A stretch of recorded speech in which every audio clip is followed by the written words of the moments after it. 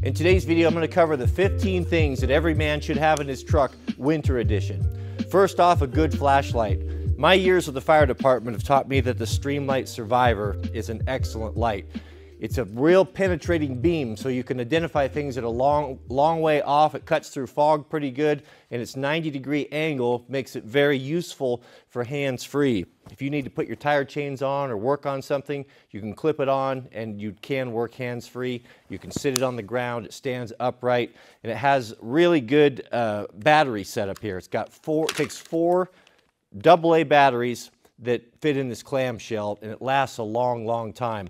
Make sure, because it doesn't have a safety switch, if you're going to throw this in a box or underneath your, the back seat, make sure you flip the batteries around so it doesn't inadvertently come on and when you need it, it's out of power. But the Streamlight Survivor is a tough flashlight that you'll have the rest of your life, provided you don't lose it.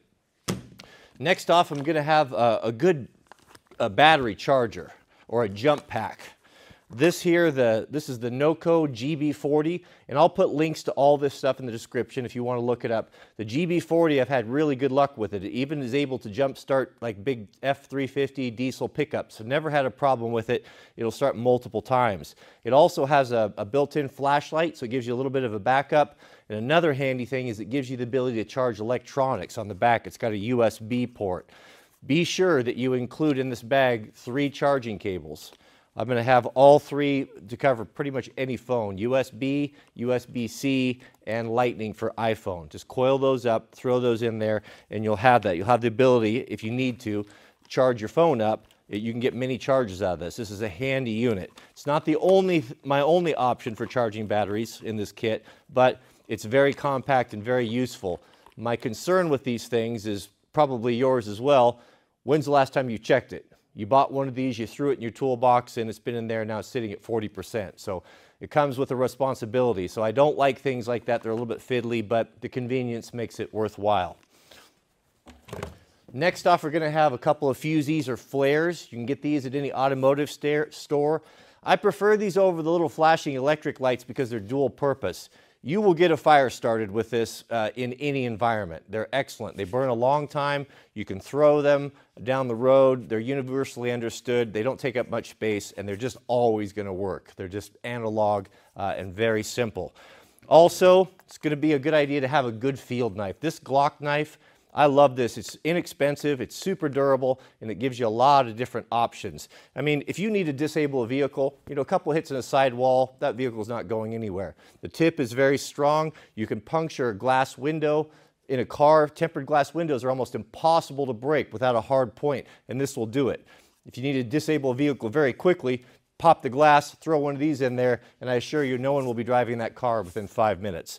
But a good field knife is a handy thing to have. Prying, self-defense, lots of different options for it. Also an entrenching tool. If you live in an area where there's a lot of snow, it's a good idea to have a snow shovel, something that you would see on, on an avalanche pack. You can get by with one of these. This is a Glock shovel. Um, there's lots of different varieties of these. These are good options. You can chop with them, you can dig. Uh, if you get yourself in a situation where you get stuck, you'd be very glad to have this. You can also break glass and break windows with these. It's a pretty, also a pretty good defensive weapon and very, very versatile. So kind of a, a military style entrenching shovel. Have one of these and you get what you pay for. Amerex are the best. I would not scrimp on it. Amerex, you can count on. They're all metal. They're, they're higher quality, USA made, a lot better than some of the Chinese options that you're going to get. This will not come, not, not go off in your car, uh, near, or near, nowhere near as likely as some of those cheap ones with the plastic heads. My favorite first aid kit, the one that I keep in my truck, is a headrest kit. Now this is made by our friends over at Refuge Medical, and it's very well designed. This fits on the headrest. You can just clamp it right on there, just wrap it around. It's universal, it'll fit anything. It's got a nice heavy Velcro on the back, and it's very identifiable. If you send someone, hey, go into the truck and get the first aid kit, they're not going to be digging and looking around. You know, seconds are important. I used to be a medic on a fire department. I ran a lot of calls, and that first 10 minutes is very important. And if you waste two or three of them digging around looking for a first aid kit, you know, you might not ever get those back. So having it up on the front where everybody can see it. You can tear it away. You're going to have everything you're going to need. Tourniquet, blood stoppage. This is a great, great kit. Highly recommended. Very, very happy with that. If you live in an area where you have uh, wind storms like we do in the Pacific Northwest, where there's trees and branches that are always coming down across the road, having a good saw. And don't scrimp on the size, man. You don't want to have to try to cut through a 12 inch branch or a 12 inch tree with a 6 inch blade. Have something serious. You know, if you can get a big one, like a good silky, uh, just buy something appropriate to, to the area, vegetation in your area. You know, you can get through a log, a pretty good sized tree. I could cut through a two, three foot tree with this. It's going to take me a few hours and some help with some friends, but I could get through it. And if you get a big log across the road or a tree across the road, if you can't move it, how are you going to get through it? You need to have a good saw, especially if you live up in the forest. Have an ice scraper. I really like if you have a big truck it's hard to reach the window on those things. They're getting so tall these days. So go by a truck stop and get one of these. The big, the, the long haul guys use them and they extend and you can get your ice cleaned off, get your window cleaned off, and these are awfully handy to have. I probably use this once a week or so. Toolkit, I cover this in detail, the 10 items that you should have. It's attainable, it's not pie in the sky, it's very easy. I'll put a link down in the subject heading. When you're done with this, you can go watch it and it has have all the content. You're probably already gonna have most of the things in here, but my granddad's 50 years of experience as a mechanic kind of built this kit, uh, and it's pretty comprehensive and, and not difficult to put together. Keep it in a tool roll, that way anything loose in the cab is gonna be less likely to, to injure you. Have some high protein snacks. Nuts, uh, berries, anything, there's a lot of power bars, anything that's not gonna spoil. It's pretty inexpensive. You'll use this all the time. You always have kids or someone that's hungry. I'd be able to reach in the back and grab this uh, is very, very important. Make sure you put it in a sort type of container if you have rodents or animals that tend to get in your car where they won't chew through it because this will draw them uh, if it gets opened and that could be a problem. So just act accordingly but high protein snacks, jumper cables. Man, I know this is old school, but granddad swore by this. You got to have jumper cables. Those little jump packs are just not reliable. And in the cold environments in the wintertime, battery problems next to tire problems are usually the number one issue. When you're buying jumper cables, be discerning. They're not all created equal. What you're looking for is no less than 20 feet long. Why? Well, if you get a car that's nosed into a parking lot and you've got to run them all the way to the back to get a jump, if they're only 16, 12 feet long, it's not happening. You're, just not going to be able to do it. But a 20 foot set of, set of cables are usually enough for most applications where you can get it all the way to the back and nose the car bumper to bumper and get it going. Don't get anything less than number four wire. Number four wire is about the minimum especially if you're going to be starting anything with a diesel pickup. But these are big, heavy duty, high quality record cables.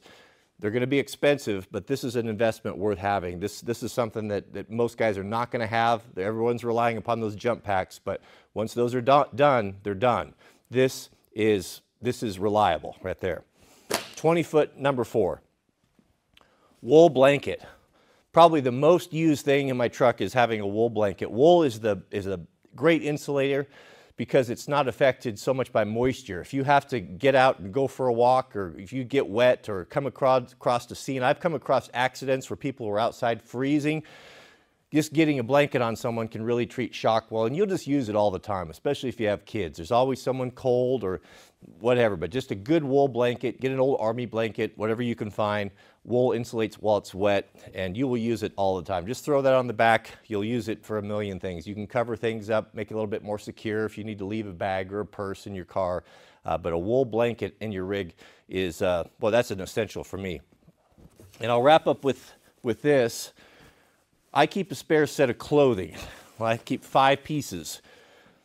What I keep is a set of rain gear. Now, this kit's not including retrieval stuff or chain stuff. That's a whole different kit. If you have a winch, you know, that I'll do that separately.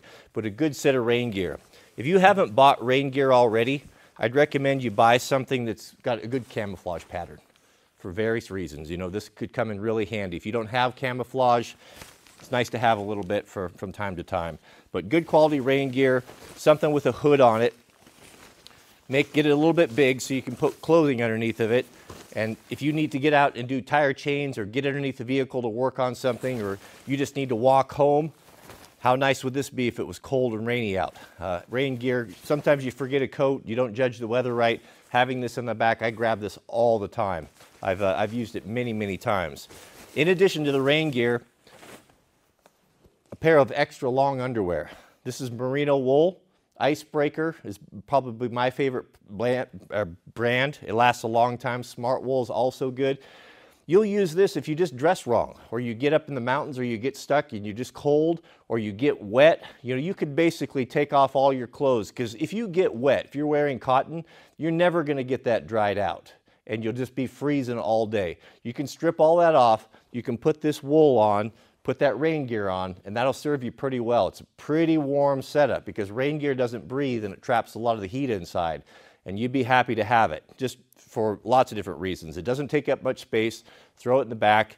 Have tops and bottoms, a base layer, and mixed with that rain gear, that's a good combination. A pair of leather gloves, obviously. If you live in cold climate, get lined. Uh, if you're not so inclined, just single leather's fine. Uh, but leather gloves, doing your tire chains, uh, keeping warm, we don't need to talk about it. A million things. And an extra pair of socks, same thing.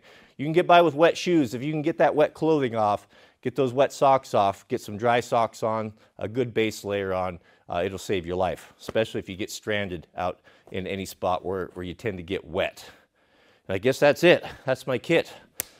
One last thing I forgot. Canteens, stainless steel, wide mouth. Wide mouth so you could melt snow in it. You can put pack these things with snow. You can throw them up on the engine manifold. They'll melt quite quickly.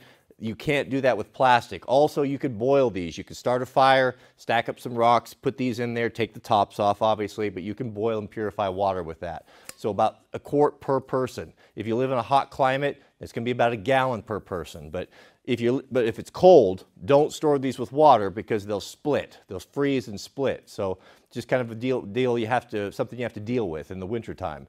Having water around here is never a problem. It's abundant and it's basically everywhere. But have canteens, at least you can have something to store and carry and boil with and cook with in a pinch. And stainless steel is the best. I'll do one more video uh, for those of you who are into retrieval, retrieval st straps, shackles, snatch block, winch, winching type of things, uh, tire chains, I might lump that in there together, uh, and that will basically round it up. So for me, basically the truck, truck gear falls into three categories. The toolkit, number one, the survival kit, which I just shared with you today, and the tire chains and retrieval kit is number three. And that basically rounds up what I keep uh, in my pickup.